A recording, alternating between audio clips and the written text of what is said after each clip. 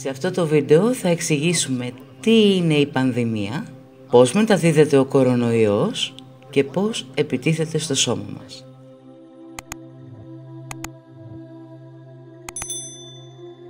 Οι πανδημίες δεν είναι κάτι άγνωστο. Ανά τους αιώνες έχουν ξεσπάσει και έχουν χτυπήσει σε παγκόσμια κλίμακα. Τα τελευταία 100 χρόνια υπήρξαν 100 παγκόσμιες πανδημίες. Η χειρότερη από αυτές ήταν η πανδημία της Ισπανικής γρήπης που ξέσπασε το 1918 με αποτέλεσμα να προκαλέσει έως και 100.000 απώλειες ζωής. Η πανδημία SARS το 2001 έως το 2003 και η πανδημία MERS το 2012 μέχρι το 2015.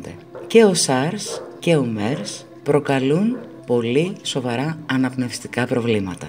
Επίσης, η συγκεκριμένη οικογένεια είναι υπεύθυνη και για το κοινό κρυολόγημα. Πώς επιτίθεται ο κορονοϊός στο σώμα; Με το φτέρνισμα, με το βήξιμο και με το άγγιγμα. Αυτές είναι οι πρώτες πηγές μετάδοσης. Η δομή του κορονοϊού είναι η εξής. Στον πυρήνα του κορονοϊού υπάρχει το συγκεκριμένο ένζυμο που επιτρέπει στον ιό να υποκλέπτει τα ανθρώπινα κύτταρα και να τα μετατρέπει σε εργαστήρια του εαυτού του.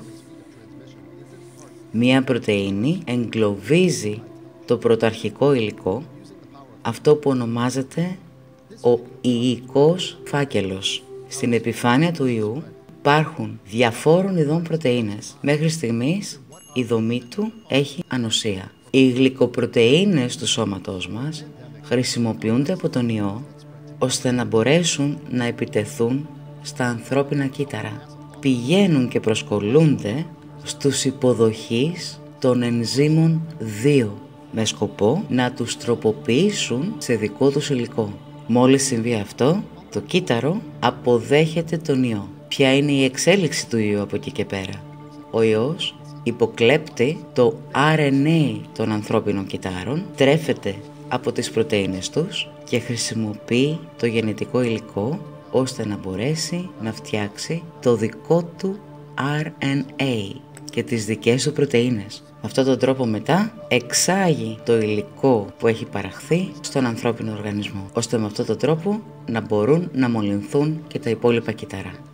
Όμως, όσον αφορά τον COVID-19, ακόμα είναι άγνωστος ο τρόπος που επιτίθεται στο σώμα μας. Και ως γνωστόν, ακόμα δεν υπάρχει εμβόλιο και η οποιαδήποτε θεραπεία είναι απλά υποστηρικτική. Οπότε λοιπόν, μένουμε σπίτι για να σταματήσουμε την εξάπλωση